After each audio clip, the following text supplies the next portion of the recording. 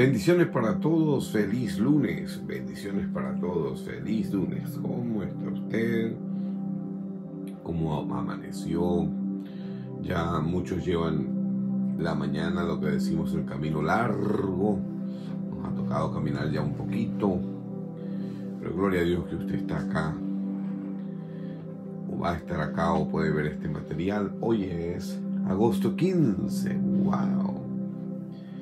Hoy estoy feliz. ¿Usted cómo está feliz hoy? Feliz porque para muchos es día de pago, pero para otros es comienzo de semana.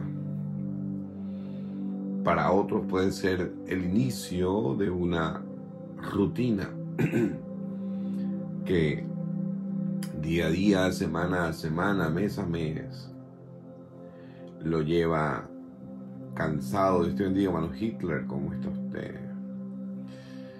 Para algunos el inicio de una bella semana, para otros el inicio de una rutina, para otros cansados tal vez de tanto trabajo, trabajo y trabajo. Igualmente para ti, mi hermanazo Rondón. Y cuando nosotros llegamos a sentirnos de esa manera porque nos sentimos de esa manera. Wow. Como que la rutina más. Como que una rutina. Como que es más rutinario, ¿no? Día por día en la misma jugada. ¿Qué pasa? porque nos sentimos así? A veces perdemos ya la expectativa.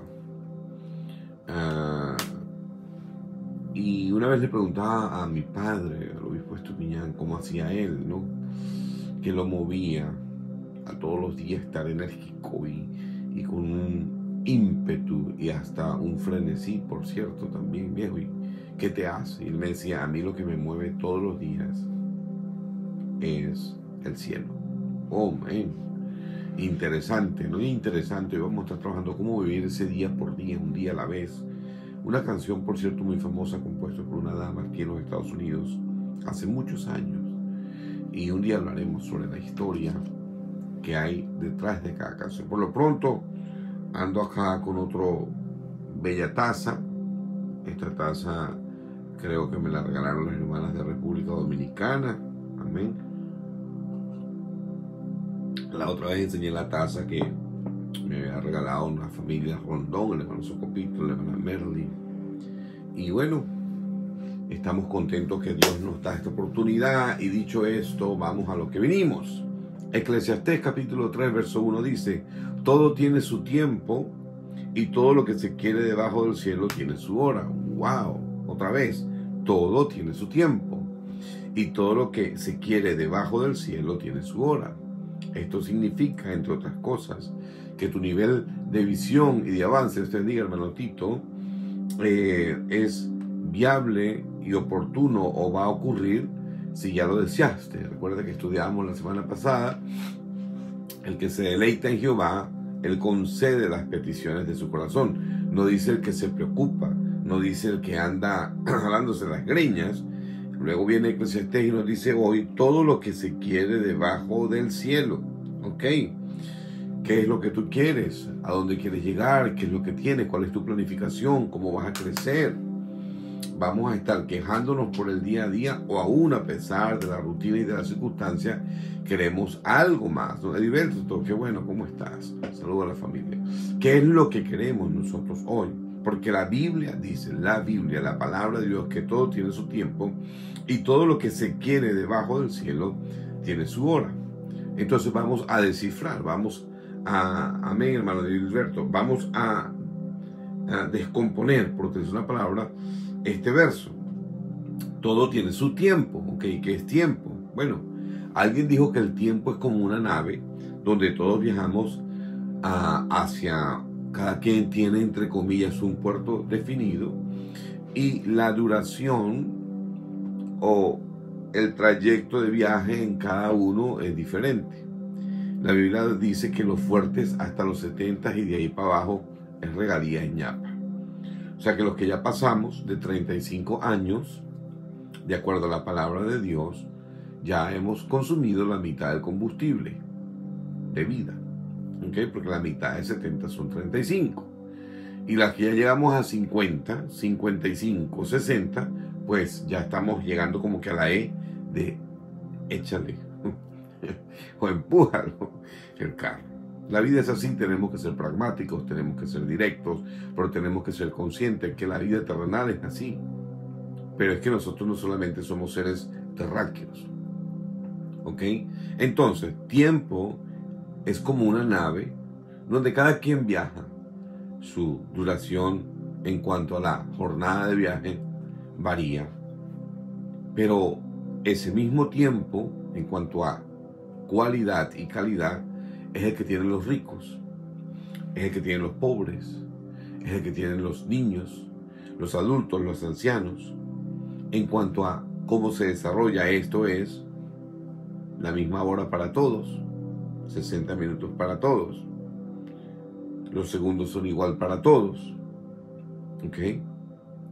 A veces preguntamos, bueno, ¿y si es igual para todos? Porque todos no tenemos igual.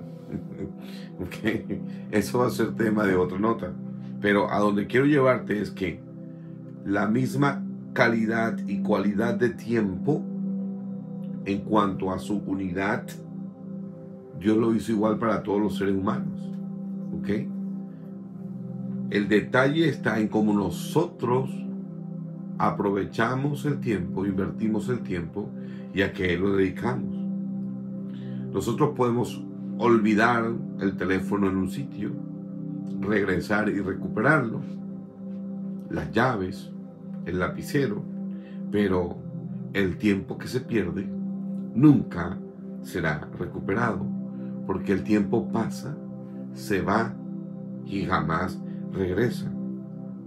He escuchado muchas veces personas hablar expresiones como esta, oh, mi vida es tiempo perdido, oh, este día fue tiempo perdido, porque lo están valorando o ponderando en unidad de dinero.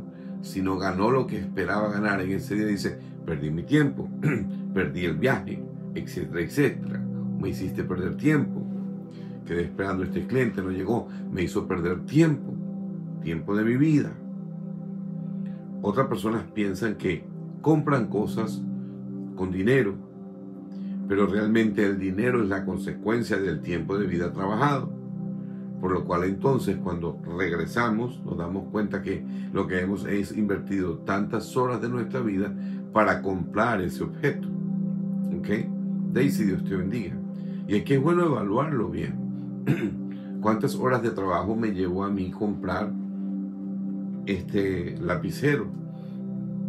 ¿O cuántas horas de mi vida me está consumiendo a mí pagar las deudas que tengo? ¿Ok? Porque lo pagamos es con tiempo. Usted diga, hermana Luz Mila, ¿ok? No sé si les ha ocurrido. Vamos a la escuela, vamos a la universidad.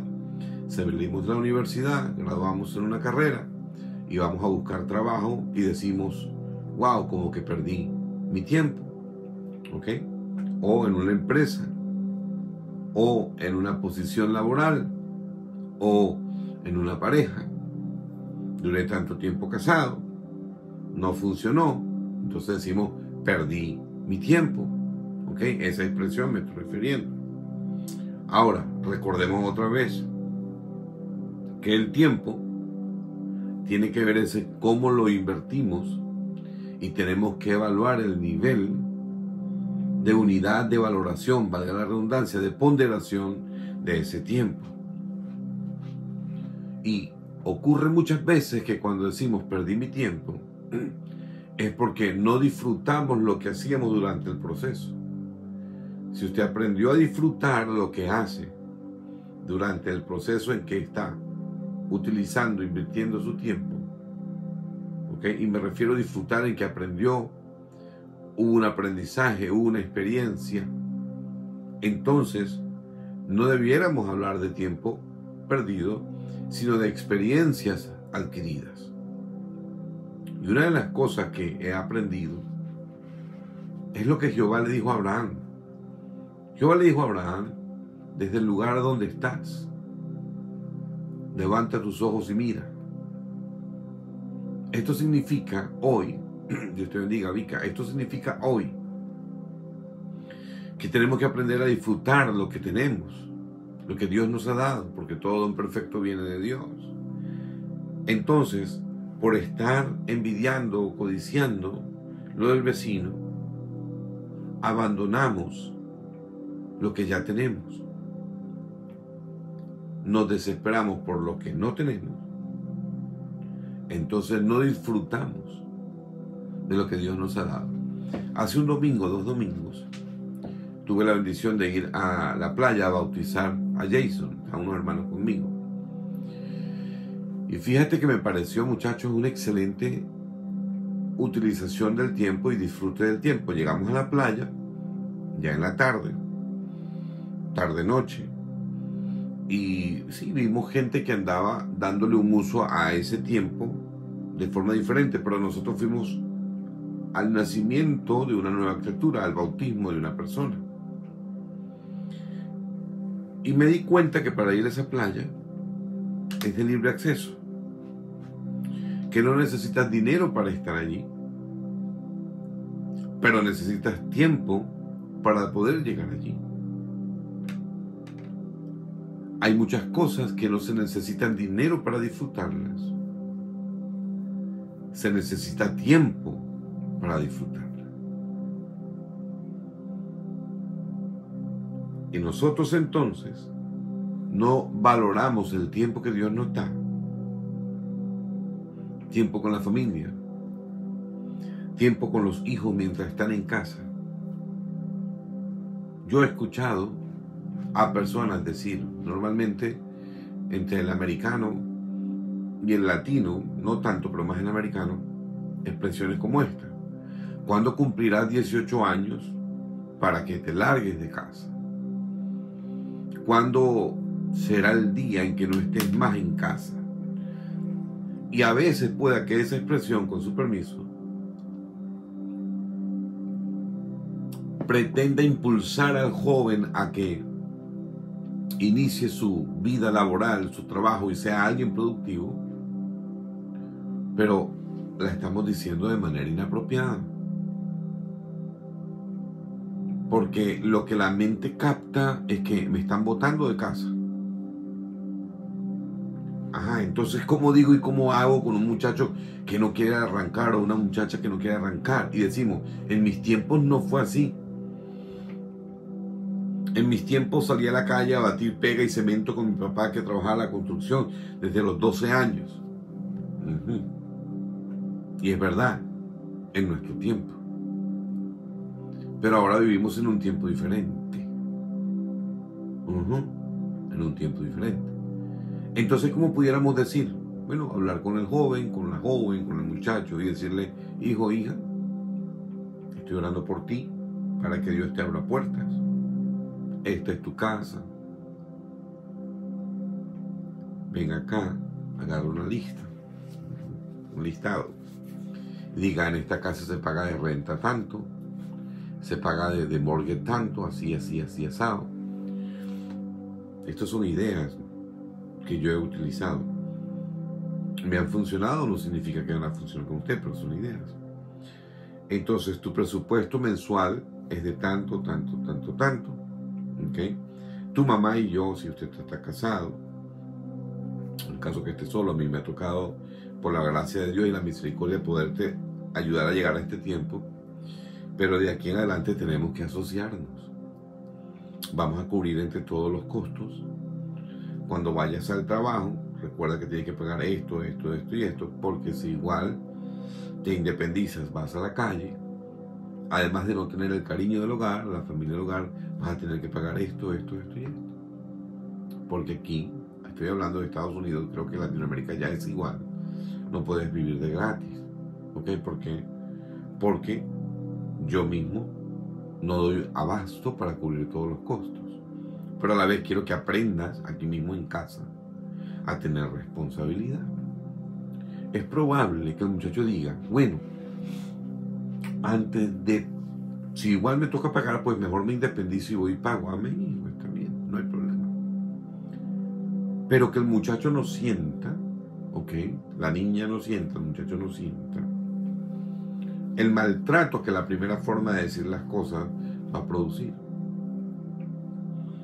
Yo quiero decirle a ustedes que yo viví en casa de papá y mamá hasta que me casé. Te le dará risa, sí. La primera parte de mi vida, desde los 12 años hasta los 18, yo estaba interno en un liceo militar, aparentemente, la, la adolescencia. Luego me puse a estudiar, me fui a la universidad, me quedé estudiando y trabajando, pero siempre viví en casa. Ya después que me casé, entonces me mudé, porque era obvio. Pero mis padres siempre mantuvieron ese punto conmigo. Y hasta el sol de hoy, con mi madre que todavía vive, como hijos todos estamos pendientes de ella. En mi casa quien se fue temprano fue porque quiso. Sí, porque cuando no cumplen las reglas de la casa, ya eso es otra cosa. Entonces hay que aprender a disfrutar lo que Dios nos ha dado. David dijo, yo me alegré con los que me decían a la casa de Jehová. El tiempo que Dios nos da con la familia, con los niños. La salvación que tenemos que Dios nos ha dado. Bienaventurado aquel varón a quien Dios haya perdonado todos sus pecados. Recuerda que el día tiene 365, perdón, el año tiene 365 días. El día tiene 24 horas. Cada hora tiene 60 minutos. Y tenemos que sentarnos en los caminos, dice la palabra de Dios, y decir, Señor, como el apóstol Pablo nos recuerda, olvidando ciertamente lo que quedó atrás, me extiendo, me proyecto, planifico hacia lo que está adelante. Muchos viven siguiendo el pasado, entonces están bajo depresión. Porque sea que su pasado fue muy bueno y ahora no lo pueden repetir, o sea porque fue muy malo y marcó su presente. El que vive ahincado, anclado en el pasado, lamenta situaciones de dolor, lamenta condiciones de error del pasado. Recuerda una mala acción en tal o cual negocio que alguien te hizo, alguien que vino y te arruinó la economía, una mala decisión que acarrió la ruptura de tu hogar, tu familia, la dispersión de los muchachos, una situación que te hizo volar de tu país a otro país y vivir como inmigrante extranjero y el benedizo. Porque si hay algo que yo tengo claro, es que no hay nada mejor que cada quien vivir en su propia tierra donde uno nació. Y aunque con el paso del tiempo los elementos que lo apegan a uno a nuestra tierra de origen van perdiendo prioridad. Ojo, no es que no sean importantes, sino que van perdiendo prioridad en nosotros porque ya estamos echando raíces de una familia aquí, ya los hijos crecieron, tal vez nacieron en otro país, ya vamos para abuelos, etcétera, etcétera, etcétera. Pero siempre cuando usted ve un video de su país, de su pueblo, de su tierra, de su río, bum bum, de Caracas, de donde yo vengo, el silencio, el manicomio, la pastora, la zona, el cuerpo suspira y dice, wow. Y da nostalgia, sí, da nostalgia. ¿Por qué? Porque amamos nuestra tierra. Sin embargo, estamos conscientes que la vida en ese tiempo, en esa jornada, nos lleva, como dijo el apóstol Pablo, hacia adelante. Si no soltamos el pasado, jamás podremos agarrar el presente. Si no dejamos el pasado en las manos de Dios, jamás podremos proyectarnos hacia el futuro. El pasado produce depresión. Pero también el futuro, si no está en las manos de Dios, pudiera producirnos algo que se llama ansiedad. El mañana a muchas personas les preocupa. No están seguros, nadie está seguro de la mañana.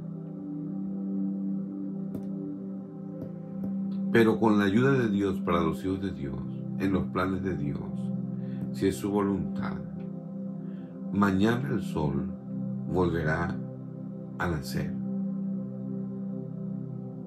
Y este planeta Tierra que Dios nos ha dado girará nuevamente, tal como Dios lo estableció.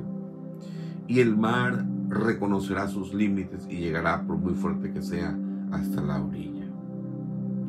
Es probable que hayan nubarrones, que hayan tormentas, con truenos y relámpagos, pero no podemos olvidar que detrás de cada tormenta viene la calma. Y que detrás de la montaña hay un valle. Y que aún detrás de la muerte hay vida eterna en Jesús. No hay que llorar. En Cristo hay consuelo. La semana trae siete días. Y lamentablemente muchos de nosotros batallamos cada día una batalla. Pero dejemos de batallar con esos seis días que ya transcurrieron, que corresponden al ayer. El mañana dejémoslos en las manos de Dios. Y hoy vivamos plenamente para Dios. Señor, te doy gracias por este día. Gracias porque tengo fuerzas.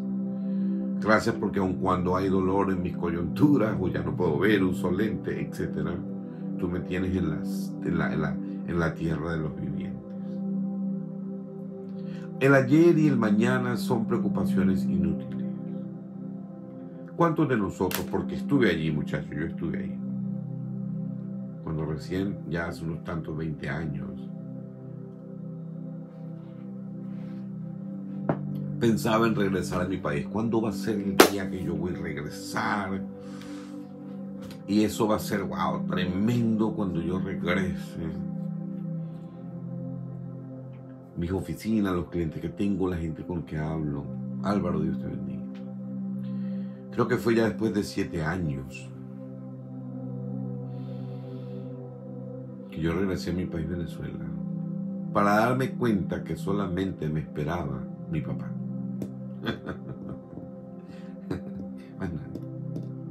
Nadie más estaba interesado en que yo estuviera por allá. Los clientes que manejaba para ese entonces en nuestra firma de abogados, por supuesto, tenía que tener otro abogado. Yo mismo los había mandado a otro abogado. Nadie me esperaba. ¿Qué ocurre? Muchas veces nosotros tenemos expectativas que cuando yo regrese, que cuando ya, y sabes, cuando uno salió, salió. Y hay gente que está feliz que usted se vino y están más contentos cuando ustedes, cuando ellos sepan que usted nunca más va a regresar. Porque el espacio que uno deja vacío, alguien lo va a ocupar.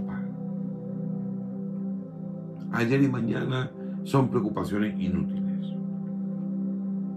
y por estar enfocados en el ayer y en el mañana, que cuando llegue la gente feliz, no. Entonces nos olvidamos de resolver la jornada de hoy, de ser agradecidos con Dios hoy, de darle gracias a Dios hoy por lo que nos ha dado. Entonces es allí donde entra el título de nuestro devocional hoy, vivir el día por día, vivir el día a la vez. No vivamos atados al pasado, ni tampoco viviendo, soñando acerca del futuro, porque tenemos que hacer hoy lo que nos toca hacer hoy. Si quieres cambiar tu calidad de vida, tu ambiente, tu vecindario, tienes que comenzar a trabajar hoy para que el día de mañana, con la ayuda de Dios, estés en ese lugar si vivimos pegados al pasado y preocupados por el futuro, olvidamos y no podemos ver inclusive las oportunidades presentes. ¿Sabías que presente se traduce como regalo? En Navidad, por ejemplo, dice, aquí está mi presente, en inglés se utiliza, hey, here's my present for you, aquí está mi regalo para ti. Pero ¿qué pasa?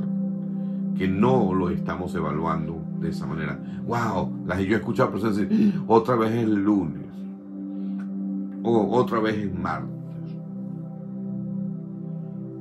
en cambio de que tengamos una actitud diferente. Vamos a aprovechar este día. ¿Qué voy a hacer primero para Dios? Mi agenda en el día no arranca sin primero hablar con Dios. Decirle gracias Señor por este día, por todo lo que me has dado. Segundo es, Señor, dame un tema, dame un punto para desarrollar, que vaya a servir de aliento, de aprendizaje, de soporte a mi propia vida y a todos los que van más adelante a escucharlo en el devocional. Que cada 12, 14 horas Dios nos permite transmitir al mundo. Entonces, hablamos con Dios. Cada día recibimos ese regalo de Dios que es tiempo, oportunidades, bendiciones. Y tenemos que aprender a que cuando inclusive las cosas no nos salen como planificamos, la Biblia dice que a los que amamos a Dios, todas las cosas nos ayudan para bien. A veces luchamos, lloramos por algo, como le pasó al profeta Samuel, cuando desecharon la guía del pueblo de Israel, sus hermanos, y dijeron, nosotros también vamos a nombrar un rey. Y Samuel lloraba y Jehová le dijo, no, no llores, porque no te han rechazado a ti, me han rechazado a mí. Si nosotros entendemos el tiempo presente, entonces lo vamos a tomar y lo vamos a aprovechar. ¿Qué tenemos en el presente? Tenemos vida, tenemos paz. Si no tienes paz, tienes que trabajar en eso. ¿Cómo conseguir la paz que Cristo da?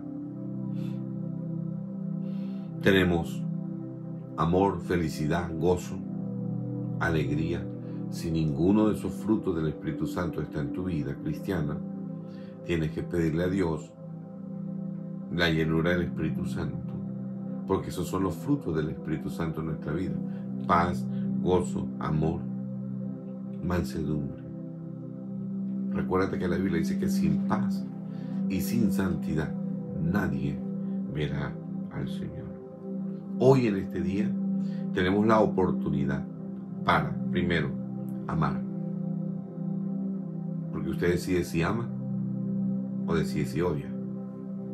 Usted decide perdonar o decide no perdonar. Es una decisión personal. Usted decide trabajar hoy en su felicidad y en su gozo. Llega la palabra de Dios, se lee la palabra de Dios, la apropia para usted, pone una alabanza y comienza a cantar, a alabar a Dios alabe a Dios. Y usted va a ver cómo el Espíritu Santo comienza a fluir en su vida, comienza a reír, comienza a ser un punto de referencia para su equipo de trabajo. Oh, ese hermano siempre está bravo, ese hermano tiene cara de limón, ese hermano... Vamos a estar gozosos. Saluda a tus enemigos. Hey, Dios te bendiga, ¿cómo estás? Eso le da más rabia. ¿Ok? O sea, no tomes nada personal. Saborea los alimentos. Yo, por ejemplo, me hago un cafecito y yo mismo me lo traigo.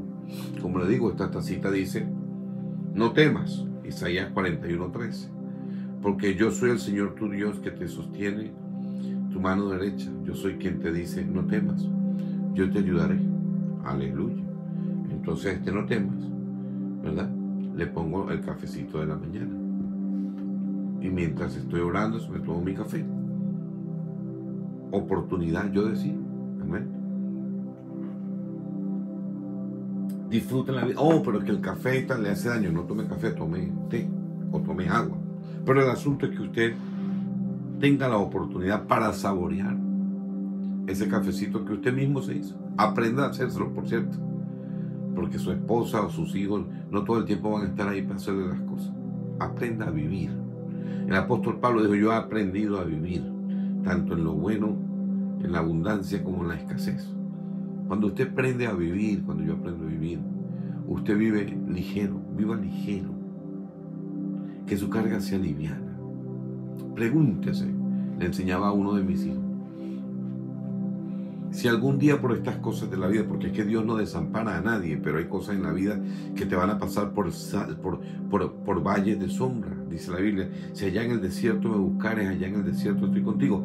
Dios muchas veces nos va a pasar a través del desierto del desierto de la soledad, del desierto del abandono, del desierto del, trabajo, ¿sí? Porque, wow, ese uno, bueno, pues del desierto de la incomprensión, muchos desiertos que tenemos que vivir.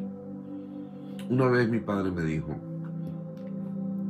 viajaba de una ciudad en Venezuela a otra y de repente el papá le gustaba viajar mucho de noche, manejar de noche porque podía ir a altas velocidades y llegar más rápido. Y entonces dijo, de repente me invadió un sentimiento de depresión, tristeza y soledad. Pero en ese mismo momento dijo, Padre, oré, puse una alabanza, comencé a hablar con Dios. Y me di cuenta que era un ataque satánico. Y que cuando tú hablas con Dios, Dios está contigo. Y lo superas. Entonces la oportunidad para saborear la oportunidad para disfrutar, sí, ese carrito que Dios te ha dado. Alégrese. No se meta en deuda si no es necesario. Claro, si usted trabaja, tiene equipos que necesita, adquiéralo, pero si no, no lo adquiera.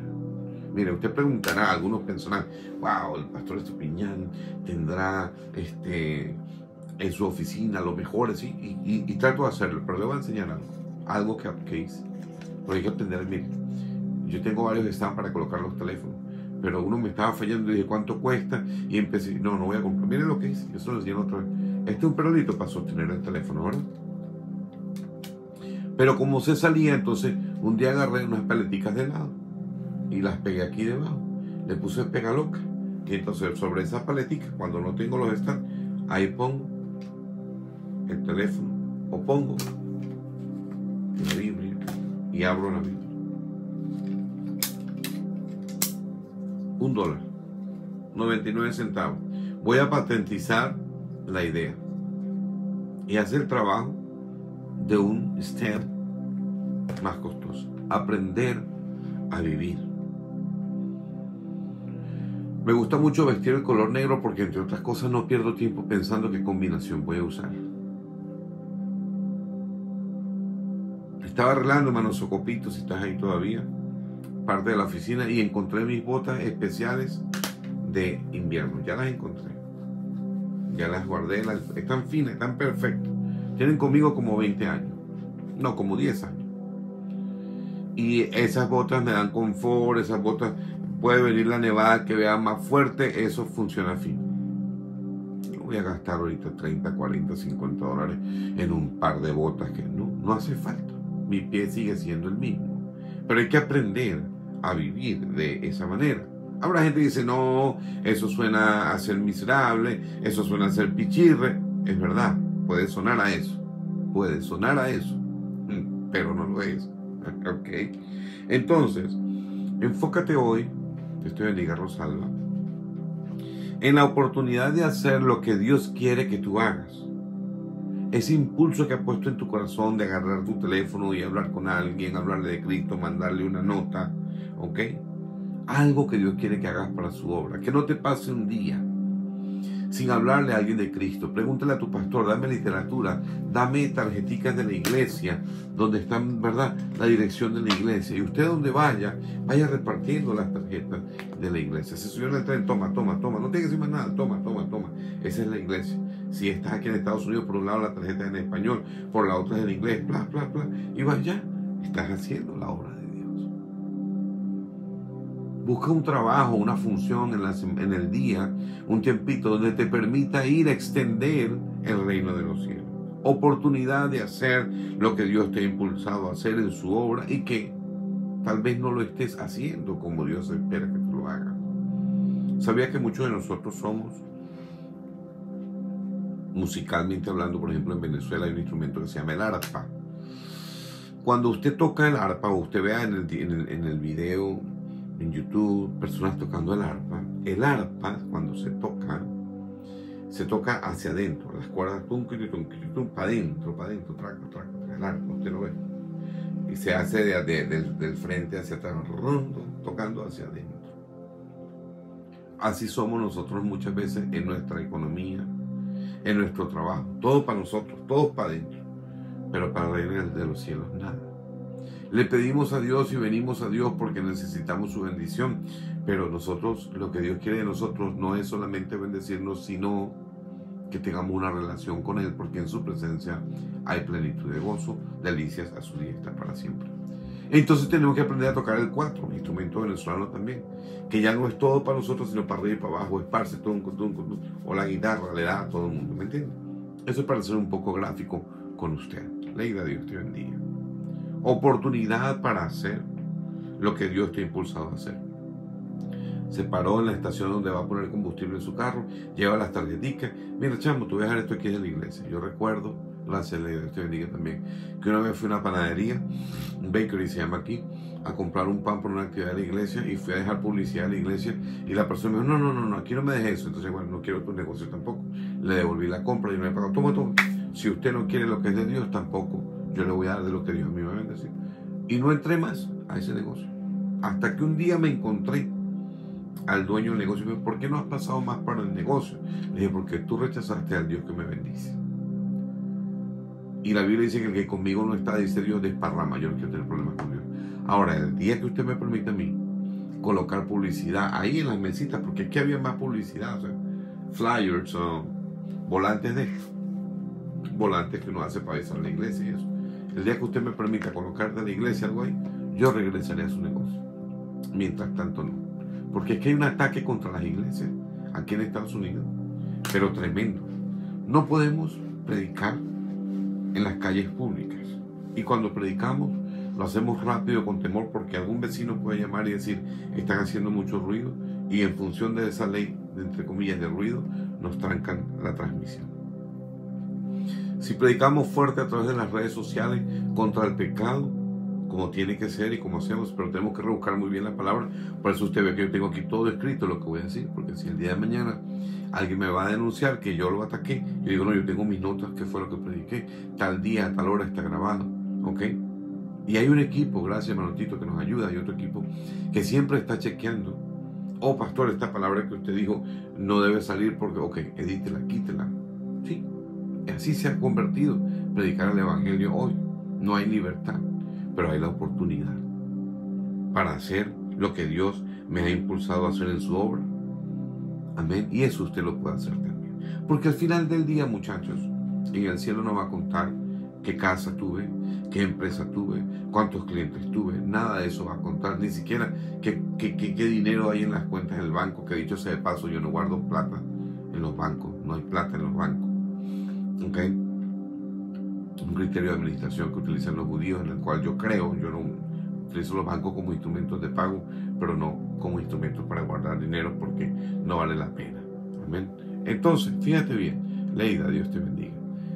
A donde quiero llevarte es que la oportunidad para hacer lo que Dios te ha impulsado a hacer para su obra. Llevar una palabra de consuelo a tus amigos. Claro, una palabra de amor, una palabra de paz. Recuerda que de la abundancia del corazón habla la boca. Decida no pelear más. Es una decisión. A mí me ha tocado eso y casi que todos los días tengo que decidir no discutir. Señor, yo decidí no discutir. Mi mamá me recuerda siempre un pensamiento. Ella dice esto. No lo diga. Hágalo. Y yo decidí no discutir más en casa. Como también le dije a mi familia es esto, aquí en la casa no se grita, no se discute, no se argumenta. Si usted va a discutir o argumentar, vaya afuera en su carro o vaya hacia un parque, pero aquí en la casa no. No hay cosa mejor que usted mismo ser un agente positivo de la paz. ¿Ok? Por supuesto, si tenemos niños, gloria a Dios por los niños, el grito de los niños, el llanto de los niños, eso es necesario, lo necesitamos porque estamos criando. Pero cuando ya estamos criaditos, no se grita, tampoco se discute. Yo he aprendido que el insulto más fuerte es cuando no se dice. ¿Y sabe qué es? dejar ignorar a la gente. No, que mire qué tal. Tranquilo, no hay problema. Solo que usted quiere hacer, Dios te bendiga.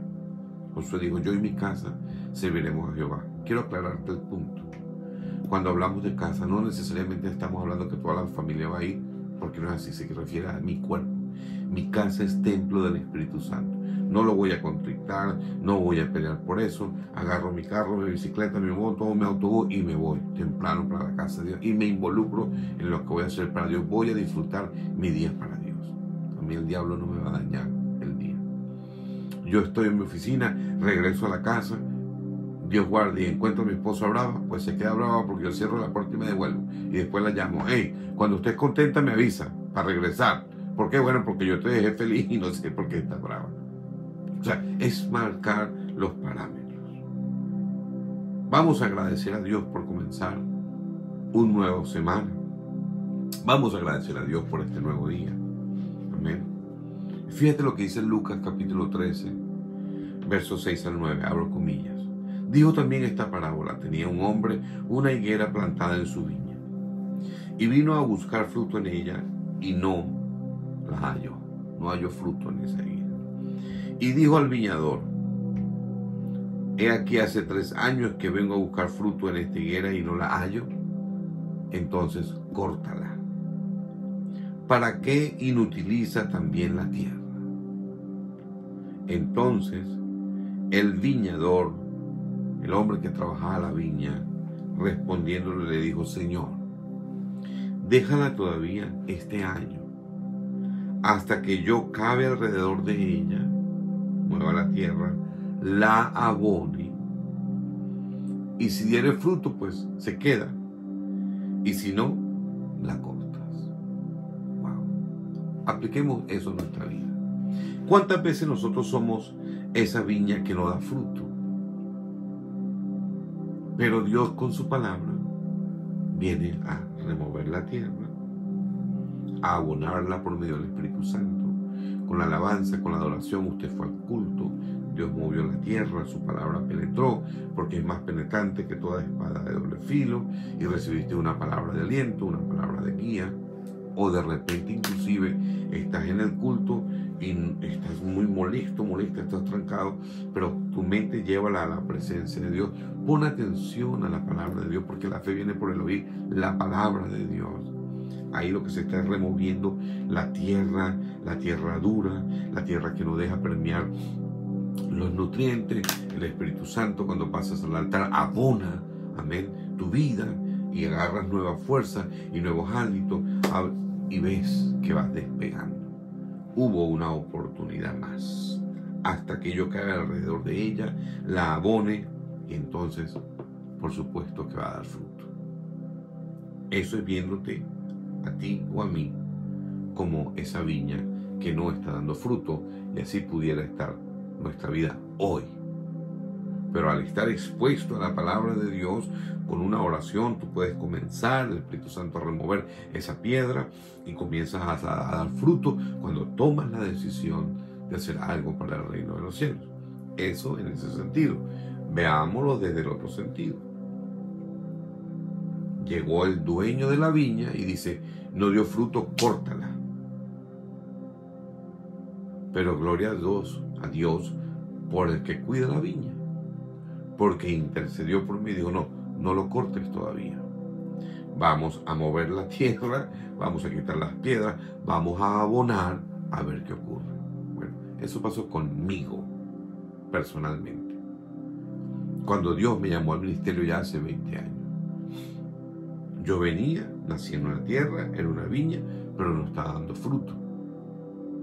Pero gracias a Dios por las personas que Dios usó para que pudieran remover todo lo que no servía, escuché sus consejos, el Espíritu Santo abonó mi tierra y aquí estoy hoy dando fruto para Dios porque alguien pidió una segunda oportunidad para mí. ¿Lo entendió? Ahora veamos desde el otro concepto. Recuerde que le hablé desde el concepto del viñador que metió la mano, vamos a, le hablé del concepto del que dijo córtala. Pero alguien dijo vamos a darle un año más. Ahora le voy a hablar desde mi concepto personal de mí hacia afuera. Esto me enseña a mí que yo tengo que hacer un trabajo a favor de otras personas. Que tengo que comprender, perdón hermana si la señal está un poco mala, pero gracias a Dios que usted está ahí. Que tengo que comprender, que tengo que comprender que yo debo trabajar en favor de otra persona. Que tengo que comprender que debo remover aquello que tal vez no le permite ver, que tengo que yo abonar esa tierra con palabras de fe, de aliento. Amén. No con presión, sino de fe, de aliento. Y entonces Dios nos va a dar la victoria. Le deseo un feliz comienzo de semana, un lunes muy productivo y que la paz de Dios que sobrepasa todo entendimiento se mantenga en tu corazón, a pesar de las situaciones. Tranquilo, Dios todavía está sentado en su trono. Dios todavía sigue siendo nuestro Dios. Así que vamos para adelante en el nombre de Jesús. Soy el pastor Wilmer Estupiñán de la Iglesia Pentecostal Unida de Despertar aquí en la ciudad de Nueva York, Freeport. Esperamos vernos en una próxima transmisión. Siempre termino primero con nuestros hermanos de Instagram. Dios les bendiga. Y la causa por la que termino es primero con Instagram porque no sé usarlo muy bien y a veces se me queda esa cosa ahí abriendo. Nuestros hermanos de Facebook, Dios me los bendiga, gracias por estar allí y hasta una próxima transmisión. Bendiciones.